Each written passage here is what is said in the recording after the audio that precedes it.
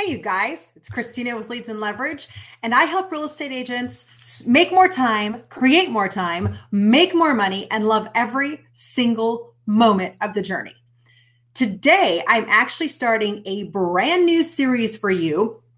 We're going to do it every single Friday at 9 a.m. Pacific, and it's going to be questions from you guys. I'm going to answer questions.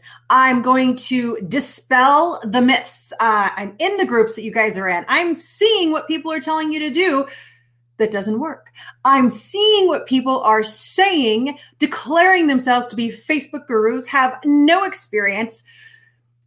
They're not doing it themselves. They tell you to do it, blah, blah, blah, or they come up with these lies and myths and whatever. And you run your business from those statements. And I am ready to just wipe that all away. So I am here. This is the first episode of this. It's basically so creatively titled Question of the Week. Maybe we will find a, a new title for that. If you have a title title option, put it in the comments below. Let me know if you can think of something better because you probably can what to call this. But every single um, Friday at 9 a.m. Pacific, noon uh, Eastern. I will be on here answering your questions. So today's question, if you will notice in the description of this video, I actually was in a group um, and I, it's a group for real estate agents and people were talking Facebook ads and somebody got in there selling services to you guys and said, Hi, agents, do you boost your Facebook ads? Did you know that you should have 500 organic views before you boost to get the most bang for your buck? I just, you know, uh, so many times I don't jump in and say something and just get into a war with people in those groups because really, a lot of times it's just a big war. But here's the thing we're going to talk about the lies we believe and the truths we ignore when it comes to boosting, when it comes to Facebook ads, when it comes to our posts. We're going to talk about that.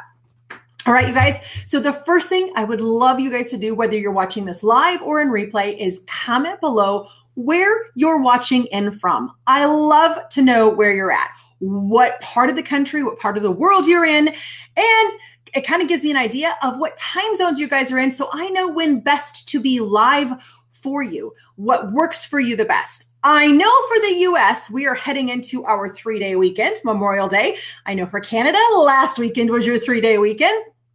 So we're all kind of heading into this. Well, at least in the US, we are heading into a three day weekend. I'm wondering how many people have already left for their favorite camping spot, their favorite uh, Memorial Day weekend event, whatever. I do know that um, oh, four, five, six years ago was the year over Memorial Day weekend that we bought a motorhome. And one month later, we were full time on the road for 15 months. So be careful with Memorial Day weekends. They tend to be big changes for people. Well, at least for us anyway. So let's do this. Thank you for coming. Do you boost your Facebook posts? I'm going to talk about the lies we believe, the truths we ignore. Let's start with the lies. All right. First of all, the first lie that was in the question of this post was we should have 500 organic views before we are boosting to get the most bang for our buck. It's just a flat out lie. Absolutely no. There are a couple of different ways of boosting.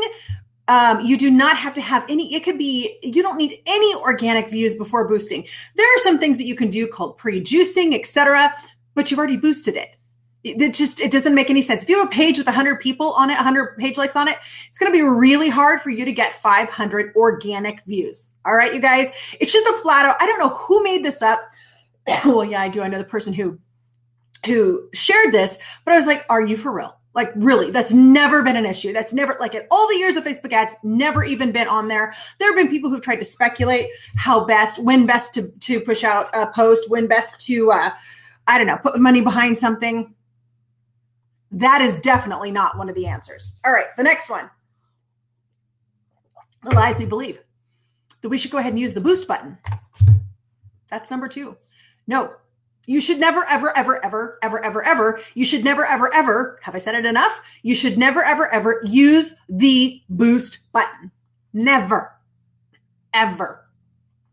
Most expensive way to run an ad least effective way to run an ad and it's really it's meant for people who just want to throw money at Facebook and not really get results. That's what the boost button is for. That flat out is what the boost button is for. So you never use the boost button. talk about what to do in the truth section. And the other thing, most of us only boost listings or open houses. Um, we don't boost other stuff. So we only boost listings and open houses. That is a lie that we believe. All right. And we're going to talk about what the specifics are under truth. So, three lies. You do not need 500 organic views before boosting to get the most bang for your buck. That is a flat out lie. Number two, we should not be using the boost button. You need to be using Ads Manager. Do not use the boost button. Number three, we should not be boosting only listings and open houses, only stuff that gets us a sale, supposedly.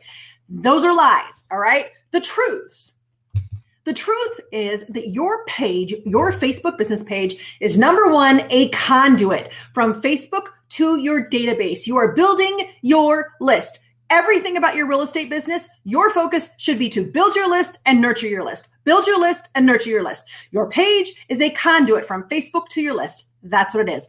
There are multiple ways to leverage this conduit. There's multiple ways to get people to swirl around and become get into relationship with you so they'll go into your list but your page is a conduit. It is not a home. It's not, it's not your hub. Okay.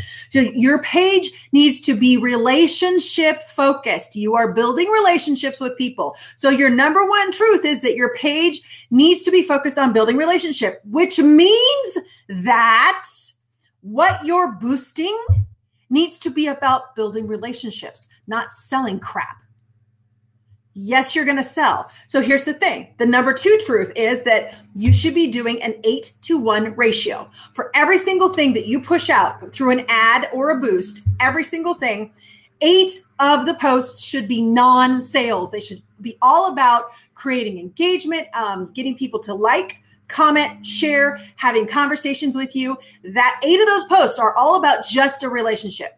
One of those posts are about a sale, getting them to an open house, getting them into an opt in, um, getting them to call you, whatever it is. So, eight should be not about a sale, just about a relationship, and one should be about a sale. Come to an open house, go to an, here's a new listing, opt in to get this, etc. All right. The next thing you need to be using Ads Manager, not the boost button.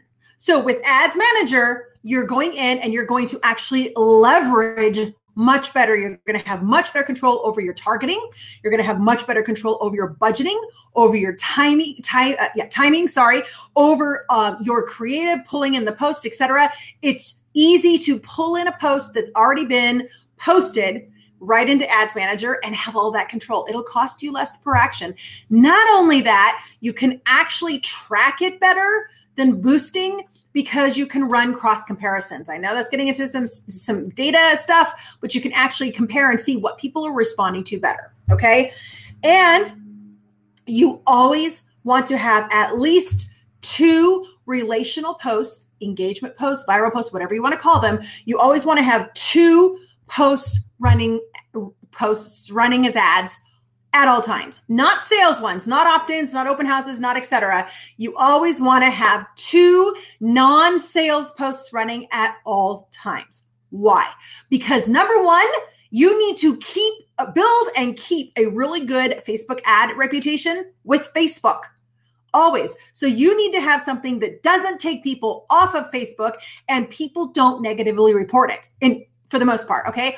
It's number one Number two, you need to be constantly expanding your reach, create, uh, getting more engagement. Your page needs to be continuing to get engagement. That is a like, that is a comment, that is a share, that is a page view, anything that's a click through. It doesn't matter. It needs to have some engagement because that builds your reputation with Facebook. And then Facebook pushes out more of your stuff organically. So when you pay and push out stuff that does not take people off Facebook and Facebook likes, they will reciprocate and push out more of your organic stuff. Funny how that works. So, the four truths are number one, your page focus is a relationship, your relationship, and it's a conduit. It is not your hub, it's not your destination. You're going to use it as a conduit and build relationships. Two, use Ads Manager, not the boost button. Three, always have at least two relationship focused posts running through ads. Always be pushing them out, running through ads. And four, use an eight to one ratio. That means for every one sales post, like a listing, an open house, an opt in, something like that, for every one of those, you have eight non sales ads. These are all ads that you're doing going. Okay. That's what you want. Do not use your page to just throw up your listings. Make sure you have eight other posts that are non sales, non listing um, related compared to that. So that's the eight to one ratio. Hi, Michael. Hi, Millie. Hi, Misty. That is funny that all the people who have commented so far, your names begin with M. Today must be must be the M day. That's really interesting. So you guys, there you have it. You have the lies, three lies. Shh, you do not need any amount of organic engagement whatsoever before boosting a post at all. And it doesn't give you more bang for your buck if you do. It doesn't. Um, second, do not use the boost post button. Third, don't boost only listings, listings and open houses. Now onto the truths. Your page is your page focuses relationship, which means that eight out of uh, eight to one for every one single sales post you put out, you want eight relationship focused posts, especially when I'm talking ads here. Two, do not use boost button, use ads manager. Three, always have at least two posts running as ads. Okay. Two relationship boosts running as ads. Posts that you boost, but you, you go through ads manager. And, and four, eight to one ratio. For every one sales post, a listing, an open house, an opt in, or something, have that you turn into an ad, have eight that are relational, non salesy, no call to action as far as come opt in, come do anything like that. Have eight that are relational, relational running compared to your ads. That does not mean you have to have nine running at all times. It just means that make sure you're running eight and then one. Don't run three or four listing posts and only have have have only run three or four regular posts if that makes sense. Hopefully that makes sense. All right you guys you can ask me your questions. If you want me to answer a question every week um, any week friday at 9 a.m pacific 12 noon eastern then please send me an email at christina at leadsandleverage.com and put in the subject line. I'm looking at the put in the subject line question of the week all right, you guys, there you have it. I will talk to you guys later. And don't forget to let me know your questions because I want to help you. I want to empower you. I want you to get out of being mind controlled by people who don't know crap about what they're teaching you. All right, you guys, there you have it. Talk to you later.